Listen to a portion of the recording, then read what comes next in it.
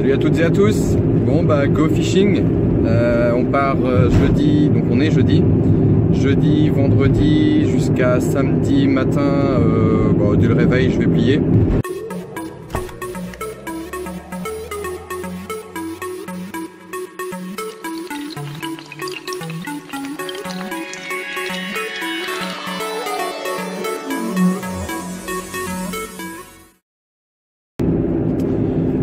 Pour un plan d'eau euh, de 76 ou un truc comme ça, un truc entre 70 et 80 hectares.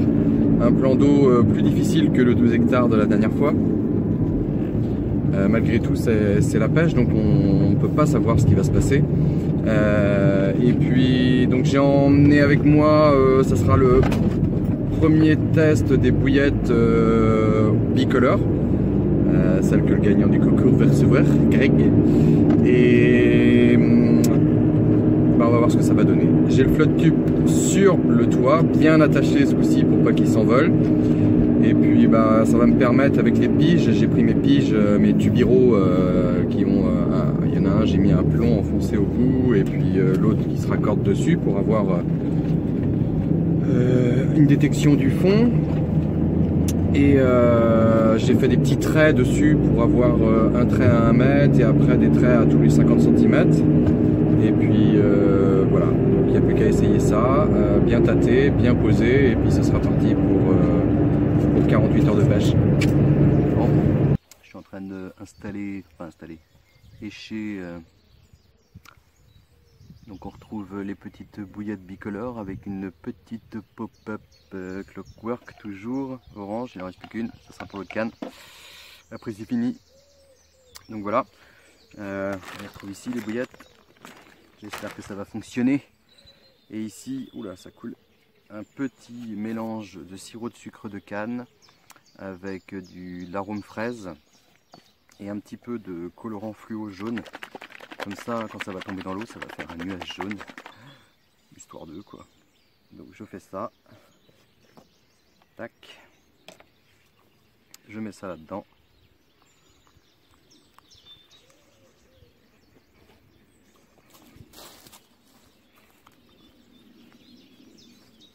Voilà, voilà.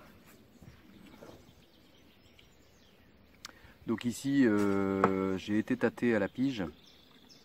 J'ai fait un petit peu de vidéo à la GoPro. J'espère que je pourrai vous mettre ça parce que j'ai pas envie non plus de me galérer à gérer les vidéos GoPro, euh, sachant que bah voilà, j'ai une demi-heure de vidéo déjà. Alors il faut que je charge une demi-heure pour.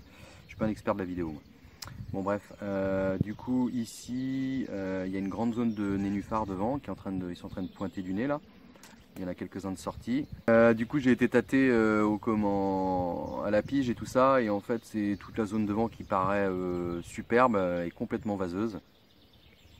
Excusez-moi, j'ai un appel en même temps, je vais faire refuser. Voilà. Euh, et complètement vaseuse et on a un chenal par contre devant donc on va se contenter de pêcher le chenal et si ça veut pas euh, je suis là pour deux nuits pour moi j'y lis par demain ce soir euh, la dernière nuit, j'essaierai peut-être euh, un comment sac soluble non percé pour qu'il descende tout doucement avec un bas ligne peut-être un petit peu plus long sur la zone vaseuse là-bas. Voilà, on va voir. Le poste est super joli, mais finalement quand on le sonde, eh ben, c'est moins joli. Mais bon, on va bien voir. Bisous.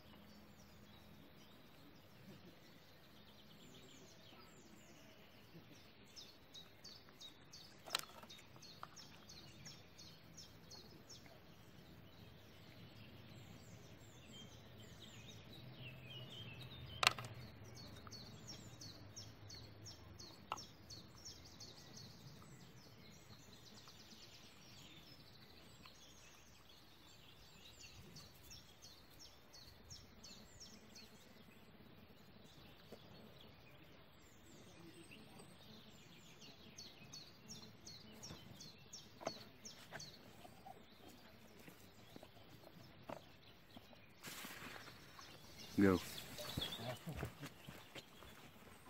Ouf. ouf. C'est un ouf, un gueudin. C'est ce que je dis à Augustin des fois. Sa mère, ça l'énerve. Je suis un ouf, un gueudin. Alors, il répète. Je suis un ouf, un gueudin.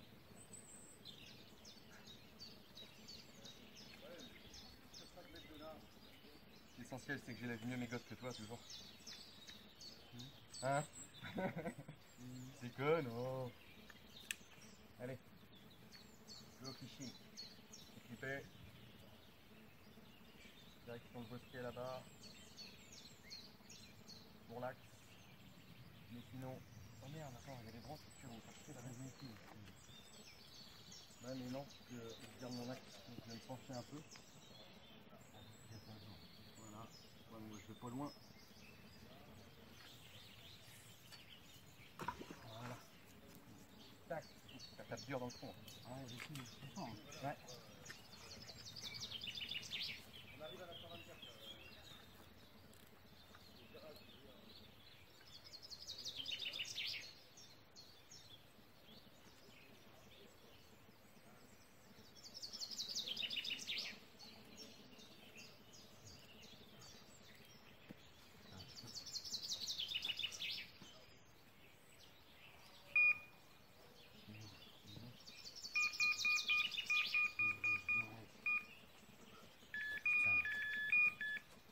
Où t'es bon ça Où t'es bon ça 18 kilos. Go Et là-dessus, allez, je vous montre. Je fais un petit amorçage de zone.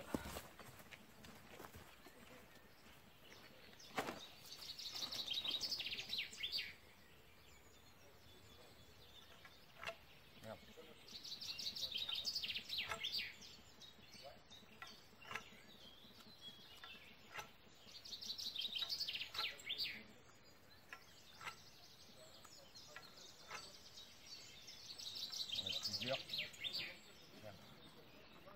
Ça Je vais pas en mettre plusieurs.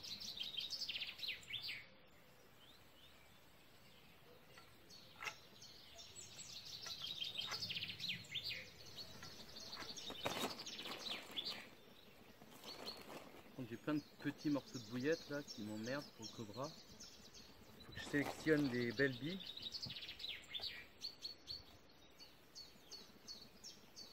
Voilà. Tu sais pas quoi faire, Gilles, après tu vas trier mes billes. Hein Ce serait sympa.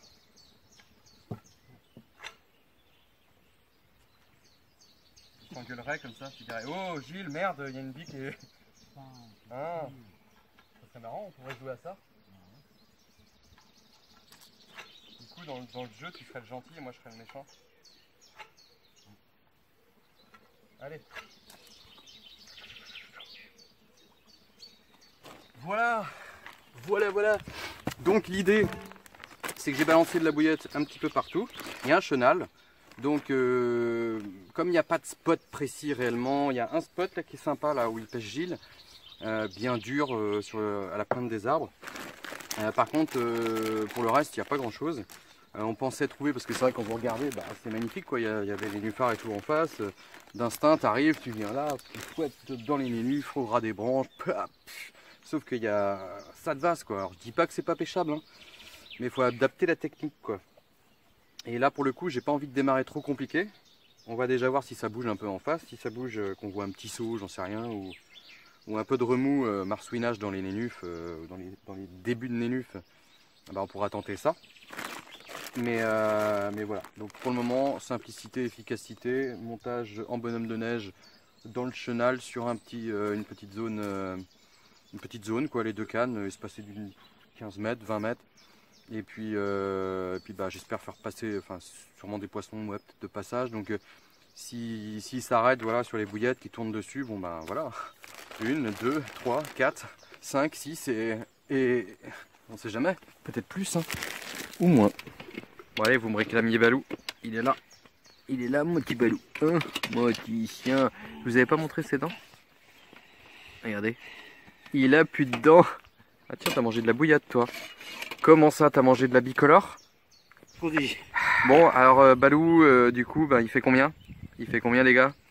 3 kg 100. Et oui, il fait 3 kg 100 et puis de toute façon à l'heure où vous allez voir la vidéo, bah vous, le résultat sera bien annoncé. Et d'ailleurs le gagnant est déjà annoncé. Donc voilà, un hein, balou? Allez, attends. Pardon. J'avais ma main dessus. Donc, euh, bah, Gilou, on est comment là? Je veux dire, euh, il est quelle heure Il est quelle heure déjà? bah, Je sais pas quelle heure il est. Puis après, c'est vrai qu'on regarde. On profite du beau soleil. Et puis euh, voilà, il est. On regarde pas trop l'heure du coup. 15h12 exactement. 15h12. Donc, Impeccable. Donc là, je viens de tenter un petit truc en fait par rapport à ce que je vous ai montré tout à l'heure avec Gilles. Là, on est en train d'élaborer un petit montage, quelque chose de, toujours assez simple, hein, un mode no suicide quoi, toujours. Euh, un bas de ligne un petit peu plus long. Euh, parce qu'en fait, euh, par rapport à ceux qui connaissent le poste, puisque nous avons des connaissances dans le secteur, et il y a quand même quelques gars qui ont bien déroulé sur ce poste. Euh, sur des zones que j'ai été sondées tout à l'heure et qui sont très très très très très vaseuses. Pour ce plan d'eau, j'ai eu l'expérience une fois moi d'une carpe que j'avais fait de 11 kg et quelques mois ou peut-être même années après, j'avais été voir la zone sur laquelle j'avais fait mon poisson et j'avais été en, waders dans l'eau et j'avais de la vase jusqu'au-dessus des genoux. Donc euh, je me dis putain, j'aurais jamais pêché là en temps normal quoi si j'avais su comment était le fond. Donc partant de là, et avec euh, l'esprit un petit peu logique de se dire, bah, finalement en fait entre ce que toi tu vois, ce que toi tu ressens physiquement, euh, voilà, et ce que bah, où le poisson euh, passe réellement, bah, il y, a, y, a, une différence quoi. Donc je me dis, on va tenter la vase, concrètement, on va tenter la vase, chose que je ferai pas une fois que je sais psychologiquement comment c'est fait le fond, euh, c'est un truc que je n'oserais pas faire. Donc euh, bah, c'est ce qu'on a fait là à l'heure actuelle euh, avec Gilles, on a fait un bas de ligne long à peu près quarantaine de centimètres avec un double pop-up coupé en paire de fesses. Petite dédicace à Romain, mon collègue, j'espère vous le montrer bientôt, il, est, il devait être là avec nous normalement. paire de fesses parce que je coupe debout et puis ça fait une petite paire de fesses. Donc c'est Romain qui a sorti ça une fois à paire de fesses. je trouve ça bien. C'est une bonne idée, ce petit euh, nom. Et euh, donc euh, petite double pop-up en paire de fesses avec une Gammon White et une fraise de, chez Decathlon d'ailleurs. voilà, crochet de la bouillette bicolore dans un sac soluble, un petit peu du dip que je vous ai montré tout à l'heure et bien fermer ça, éviter de percer le sac pour qu'il y ait de l'air dedans de façon à ce que ça fasse un peu parachute quand ça tombe. J'ai jeté ça, je suis tombé en plein dans les nénufs. Boum, c'est tombé tranquille. Euh, et puis voilà, ça va se déliter. une fois que le sac va se déliter, j'ai mis un petit peu de tungstène. Le, le badline va se lever de, quelques centimètres comme ça. Et puis bah, j'espère choper un poisson à maraude dans les nénufs. C'est bon, vas-y, Yes Je m'y attendais pas du tout. Beau petit départ. C'est pas un gros poisson. C'est même un petit poisson, mais c'est marrant, au moment où on voyait plein de vie là,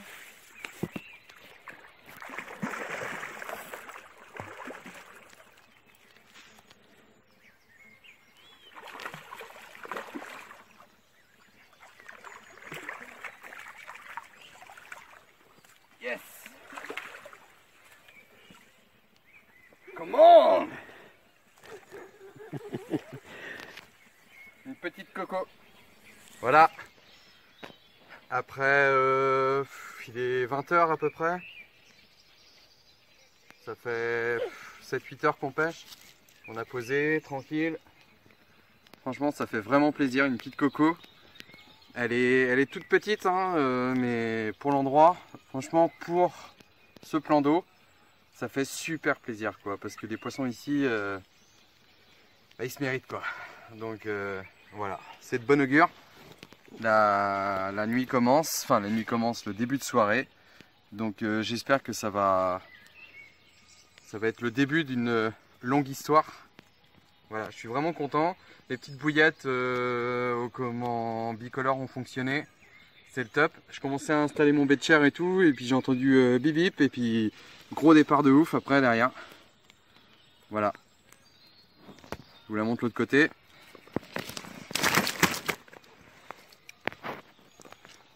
Voilà, tout en force, les petites. Elle est vraiment tout en longueur, sombre, magnifique. Franchement, elle ma belle. Tu saignes un petit peu de la bouche, elle saigne un petit peu de la bouche, mais bon, ça va se nettoyer ça. On va, on va la remettre à l'eau. Bon, il est 10h30 presque. Nous avons eu une nuit euh, agitée par les brèmes. Euh, on fait, euh, je sais pas, Gilles, bah, il a fini par laisser tomber en fait parce que, bah, parce que ce matin au réveil, il avait des brèmes sur ses lignes. En fait, il aurait passé sa nuit à relancer. moi, j'ai eu quelques bips aussi. J'ai fait une brème de bonheur ce matin. Après, ce qui m'a peut-être sauvé au niveau des piqûres de brème, c'est que j'avais un cheveu un petit peu, long. J'avais le doute hier, je me disais ce que je laisse ou pas, mais comme j'ai fait la carte, bon, elle était bien piquée et tout, donc euh, bah, quelque part, euh, c'est souvent quelque chose qu'il faut faire. D'ailleurs, euh, là, c'est pour le coup, j'ai pas fait exprès, c'est juste un peu de chance. Quand vous êtes embêté par les brèmes, c'est de rallonger votre cheveu de façon à éloigner en fait l'appât de l'hameçon. ça permet de les piquer moins facilement et on pique quand même la carte. Bon, le bazar est rechargé dans la voiture. Euh, j'ai décidé du coup de changer de poste pour ma dernière nuit. Euh, comment il y a Gilles donc qui s'en va, c'était prévu. Et puis je me dis, oh, plutôt que d'attendre un hypothétique passage de poisson, euh, puisque cette nuit il n'y a rien eu, voilà. Et puis les brèmes ont l'air hyper actives la nuit. Donc ça va être à mon avis un peu trop galère. J'ai envie de, renouveau, donc je vais passer par chez moi euh, pour me doucher, pour euh, bah, enlever des choses que j'ai plus besoin, reprendre des choses, enfin voilà, je vais faire la pointe, repartir pour de nouvelles aventures, euh, un petit renouveau, et donc je vais me doucher tout ça, et puis on va partir pour la rivière. J'ai envie de rivière, je me dis que Là en ce moment les rivières sont en crue, les crues de printemps c'est quand même quelque chose d'assez rare et comme on dit tout ce qui est rare est précieux. Donc euh, j'ai envie de tenter, c'est quelque chose qui me trotte dans la tête là, depuis un moment là, puis on est quand même euh, presque mi-avril. Euh, voilà, les rivières toujours en crue alors que le, réveil biologique des carpes a sonné. je pense que c'est à tenter. Voilà, on se tient au courant. À Tal. C'est parti. Me voilà installé sur le poste de j'ai choisi un bras d'une vieille rivière euh, qui rejoint en fait la rivière principale où il y a beaucoup de courant. Ici j'ai quand même du courant, pas mal aussi, mais euh, ça tient bien. En arrivant j'ai commencé par euh, poser une canne juste comme ça avec un plomb pour voir si ça bougeait ou pas. Donc apparemment ça bouge pas trop. Par contre il y a de l'activité sur l'eau, c'est vraiment pas mal en, termes d'activité de blanc et tout par rapport au plan d'eau où, j'étais avant avec Gilles. Là au moins ça vit quoi, il y a des remous au milieu, dans les branches en face, un peu partout. Euh, bah, j'ose espérer que ça va le faire. J'ai dispersé de la bibicolore euh, partout en face là-bas, partout ici, puis pour une canne sur le côté là. Et puis, euh, ben, croise les doigts quoi. Croise les doigts. Alors je pense que ça va dépoter là si je fais un poisson parce que ici il y, a des, bah, y a des belles communes déjà. Et, puis bah, avec le courant, et puis bah, ça reste des, des poissons sauvages. bon, bah, je vous tiens au jus. Un petit départ en live là. Et encore eu un remous là-bas. Ah, franchement, c'est pas mal. J'espère qu'elles ont faim et qu'elles sont. Euh, qu'elles vont être euh, à bloc dessus, quoi. En tout cas, il fait beau, c'est nickel. Franchement, à tal. Bon, il est 8h moins 10 du matin. Euh, j'ai pris un bel orage hier. Euh, une, bonne, une bonne pluie d'orage aussi. Euh, ça a duré plus d'une heure, voire presque deux heures. J'espérais que après ça, ça aurait déroulé, sachant que franchement, ça bouge de partout là-dedans. Ça bouge de partout, ça, c'est beaucoup de blanc. Hier, j'ai vu, quasiment sûr que c'est une carpe qui a sorti la tête là par en face. Donc euh, là je suis vraiment surpris, euh, comme j'ai envoyé à mes collègues tout à l'heure, euh, j'aurais mis ma zézette à saucissonner que je faisais une carte quoi. Parce que franchement, hormis le fait qu'il y ait du courant et que du coup les bannières sont tendues comme des strings, en plus je suis encore de ligne 13, alors il y a peut-être de la résonance qui se crée dans le fond, mais après je vais pas me trouver trop d'excuses quoi. ma petite canne de bordure là-bas, elle, elle, a le fil détendu, donc il n'y a pas de résonance. Elle a bipé, elle, elle a bipé pas mal. Euh, je sais pas, je sais pas pourquoi ça a pas, ça a pas donné. Euh, c'est comme ça, bon bah ça pêche toujours, hein. encore une petite heure. Une petite heure, j'ai relancé, j'ai relancé un peu différemment, moins près du bord en face, j'ai l'impression que ça remonte pas mal. Donc j'ai lancé plus vers moi en fait, c'est descendu plus profond déjà avec un peu de chance, si je peux sauver ma pêche euh, là de dernière minute là. Euh, l'autre canne au milieu, euh, je l'ai mise aussi redécalée vers la, vers la droite parce que ça bouge beaucoup sur cette zone là. Voilà, on va essayer, c'est la pêche. Hein, je suis un petit peu déçu quand même, je suis un petit peu déçu, surtout quand je vois comment... Là encore, voilà, un petit saut. Bon, c'est du blanc ça, mais ça montre que ça vit quoi, ça vit vraiment et... Et voilà, il y a la rivière à côté qui est vraiment bien en crue en parallèle de, ce bras là, euh, c'est une rivière où, on enchaîne assez facilement euh, des, petites communes et tout ça quoi. Donc euh, je me disais que là j'ai bah, Nono et Gilles que vous connaissez qui sont venus ici l'année dernière. bon en, plus belle période, c'était plus calme et ils ont fait quand même une belle série de, de communes. Donc j'avais bon espoir quoi. Voilà, Bon, ben j'espère que d'ici euh, la fin de pêche, je vais vous envoyer euh, une petite image de carte, ce serait magnifique. Mais là, euh, ça commence à être un petit peu tendu. Voilà, voilà. Bon, sinon, à l'heure où vous allez voir la vidéo, je suis en train d'amorcer un nouveau poste. je bascule maintenant sur les bouillettes euh, d'amorçage au saumon. Sur amorçage donc 2, 3, 4 jours. Et je vais attaquer un, petit poste là. J'espère que je vais vous montrer du beau poisson. Bon l'heure est grave. L'heure est grave je pars du poste il est 10h j'ai traîné une heure de plus. Faut que je me grouille maintenant parce que je veux envoyer les bouillettes en Belgique. Car les bouillettes ont été gagnées par euh, GD Greg en Belgique. Voilà, pour mon premier concours, il faut que j'envoie des bouillettes en Belgique. Qui l'eût cru? Euh, Félicitations euh, GD Greg. Euh, donc l'heure est grave parce que bah voilà j'ai fait un capot là, j'ai fait un capot, c'est la première fois que ça m'arrive de ma vie. Alors si je fais, ce que je vous présenterai Romain, Roms, vous l'avez pas encore vu, euh, je pense que tu regardes la Roms 1. C'est son petit truc à lui et maintenant c'est vrai qu'on a tendance à copier ça. C'est-à-dire que quand on ment, on fait après. Donc on sait, euh, voilà, quand on se connaît, euh, tu dis un petit mensonge. Bon voilà, non c'est pas mon premier capot bien sûr, forcément vous vous en doutez, mais celui-ci a un petit coup amer de frustration car comme je vous ai dit sur un petit peu avant là, dans la vidéo, j'ai changé un petit peu ma pêche pour ce matin. J'ai décalé un petit peu plus près euh, vers moi. Et ça tombait plus profond et plus dur. Bing Qu'est-ce qui se passe? 20 minutes après, grosse tirée, ça s'arrête. Oh, j'étais vert. Genre poisson qui s'est dépiqué quoi. Avec 220 grammes de plomb, si ça n'a pas piqué net, ça pardonne pas. Et là, juste au moment de partir, euh, j'ai encore une touche sur la même canne mais j'ai senti le poisson et c'était du blanc. C'était une brème ou j'en sais rien, euh, j'ai bien senti. Malgré tout, ça veut dire que je pense que je suis passé à côté de ma pêche. Et ça, il n'y a rien de pire pour moi. De se dire que voilà, tu as passé du temps euh, au bord de l'eau et que tout ce temps, en fait, tu l'as pas optimisé. C'est le jeu. J'ai vraiment envie de, de revenir parce que je sens vraiment que je suis passé à côté de ma pêche. Maintenant, euh, on va quand même passer à autre chose, comme je vous disais, sur euh, un poste amorcé. Et je suis assez confiant. Faut pas que je le sois trop, parce que sinon je vais encore euh, être déçu si ça se passe pas comme je veux. Mais bon, allez, je vous dis à plus, bisous